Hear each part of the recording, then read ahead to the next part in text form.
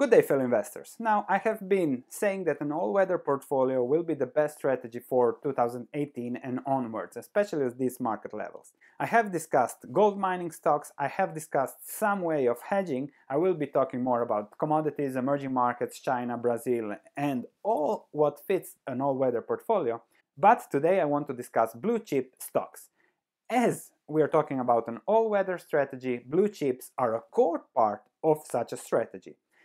What is important to look at is at the risk reward. So today we're going to discuss five blue chips, quickly analyze their risk and reward in order to see how those will best fit your portfolio. Let's start. The first company I want to discuss is ExxonMobil, of course the biggest global oil producer. And what's very interesting about Exxon is that the stock price was very stable during the last three years, even due to the high volatility of oil prices. What is interesting is that Exxon has now a 3.5% dividend yield, very stable, very sustainable, which could only get higher if oil prices continue to increase. So I would say that downside for such a company with such a strong low-cost production, with strong dividend, with high cash flows, is let's say 50%. So when you look at your portfolio, you can say, okay, ExxonMobil can fall 50%, but it gives me a dividend of 4% which would then be 8% if it falls 50%. Let's look at other blue chip stocks to see if there is a better risk-reward balance. Target is another blue chip that has a price to earnings ratio of 15, pays a dividend of 3.76%, but the stock price has been much more volatile than Exxon's in the last few years. However, the price to cash flow rate is very good at 7.6.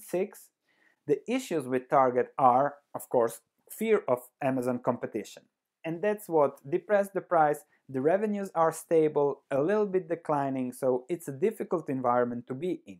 However, there is a strong dividend, there are strong cash flows, there is the brand, there is the geographical distribution, there are a lot of things that won't be disrupted that quickly. Therefore, there is some value in target. The price to earnings ratio is 15, which is much lower than the market. As for the risk, I would say if there is if really everything turns online, then the risk is huge. And that is also against something that has to be applied to target. There is no growth, so the maximum what you can expect is what you have now. The third company I want to talk is Emerson Electric. This is completely different than the previous two stocks because the price to earnings ratio is around 27, which is very very high and implies an earnings yield of just 3%. Emerson is as the other stocks were a company that has no growth in revenue, no growth in earnings, but the price to earnings ratio just went higher, higher, and higher. Given the high valuation, the downside for Emerson is extremely high because if treasuries go from the current 2% to 4%, then the required dividend for Emerson would be 6%. And then the required stock price would fall to 43 from the current 71. You think that's too low? Well, in 2009 the stock price was at 26, so it's all about valuations with such a company that has stable revenues and stable earnings. I think Emerson is the riskiest stock I have discussed now. The sentiment is positive now, but if you look at the 10-year chart, you can see that the sentiment is very, very volatile. So better look at Emerson when the stock price is closer to 40, as it has been three times in the last 10 years. I bet you it will be again. Walgreens Boots Alliance is a blue chip that, unlike the above, has managed to double its revenue in the last 10 years, which makes it a growth blue chip. Earnings have also doubled and the dividend yield is just 2.30%, but the payout ratio is 40%, which leaves plenty of money for more growth. The price to earnings ratio is 20, which implies an earnings yield of 5%. However, if they double their earnings in their next 10 years, then the future earnings yield will be 10% and so on and so on, but potentially increasing the stock price. The fear here that keeps the stock subdued is again Amazon and what happens if Amazon enters the pharmaceutical business. Well, perhaps Amazon will buy out Walgreens. You never know, but it is a possibility. However, this is again a different stock, an average price to earnings ratio of 20, but there is growth and there is a dividend and the risks are the same as what we have discussed with the stocks before. So again, a different conception the market has about blue chip stocks, which is very, very interesting. Of the stocks we discussed, I would, if I had to invest in Walgreens before the other stocks. The fifth company I want to discuss is Boeing.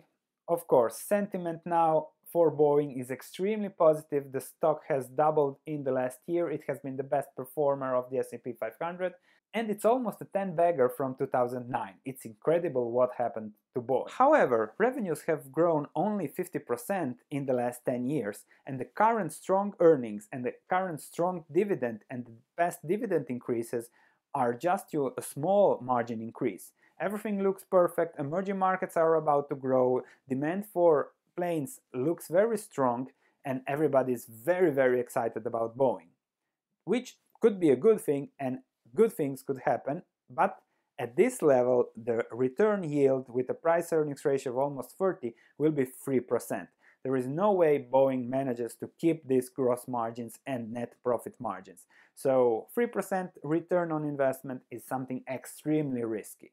As we know, the economy is always cyclical and everything is cyclical. Even the air industry will hit market saturation because those not because the number of planes will grow at a faster rate than the market. And then Boeing will see some cancellation, will see some losses, and then the stock price would drop extremely much, especially from this high level. Let's say earnings drop to the average from the last 10 years, which is about $6. At a price earnings ratio of 15, then the stock price would be 90, which implies a 70% decline. That's the risk for Boeing for a 3% return on investment in the long term. Extremely risky. And it, that shows how the market has a completely different perception about blue chips. I think that is because it's all about sentiment now. Really few invest in fundamentals. They have seen Boeing's stock shoot up like a plane.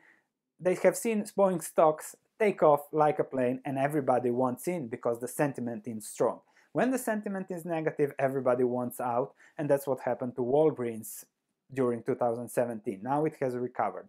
But if you take advantage of that sentiment, make a good fundamental analysis, you will do extremely well with less risk over time. We'll be discussing more blue chips as it is a very interesting topic. I really want to find low risk, high return blue chips. I think I'll find them to a little bit diversify an all-weather portfolio. Thank you for watching, looking forward to your comments and I'll see you in the next video.